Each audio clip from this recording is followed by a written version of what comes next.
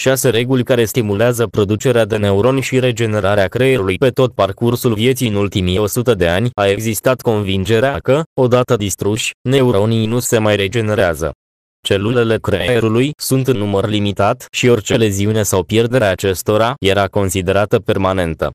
De aici și falsa concepție conform căreia creierul este într-un stadiu de declin permanent odată cu înaintarea în vârstă. Chiar și comunitatea medicală considera că celulele creierului, odată afectate, sunt distruse permanent.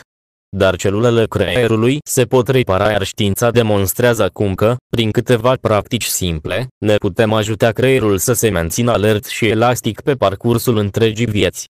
Profesorul Pierre-Marie Ledo, directorul Departamentului de Neuroștiință din cadrul Institutului Pasteur, oferă prin intermediul publicației Science Set Avenir 6 reguli de aur care ajută creierul să își mențină capacitatea de regenerare pe tot parcursul vieții.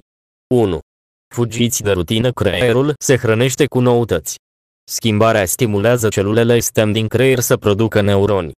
De aceea, trebuie să evităm pe cât posibil rutina, plictiseala, Potrivit profesorului Pierre-Marie Ledo, creierul are o permanentă sete de a înțelege și de a învăța, pe care trebuie să o respectăm și să o cultivăm.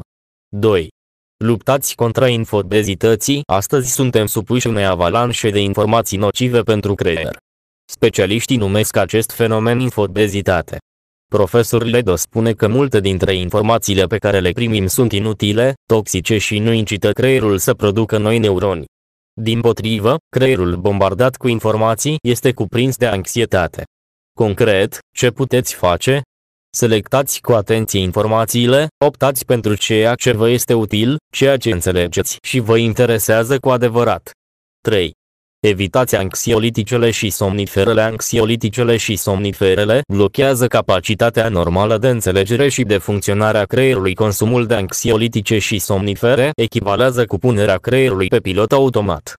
Aceste tratamente cronice sunt extrem de nocive pentru producția de neuroni. 4. Faceți mișcare.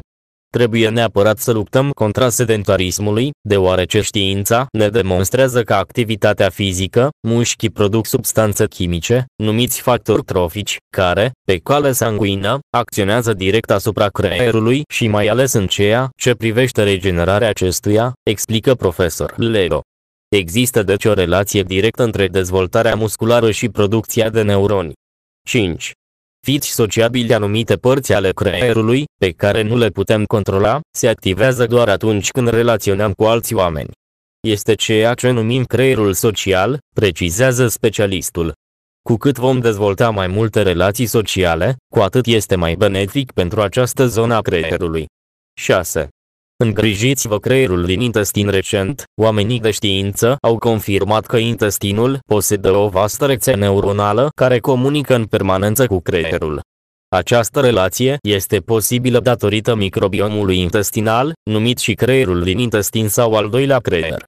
Așa se explică de ce alimentația noastră are un rol covârșitor pentru sănătatea creierului. Specialiștii recomandă un consum bogat de fibre, o dietă echilibrată care să mențină echilibrul microbiomului intestinal. În schimb, alimentația monotonă, bogată în zahăr, grăsimi, de tip fast food, favorizează proliferarea unor specii bacteriene care provoacă toxicitate. Aceste toxine ajung inclusiv la nivelul creierului, provocând de la anxietate și depresie până la demență. Sănătate! Abonați-vă, apreciați și distribuiți.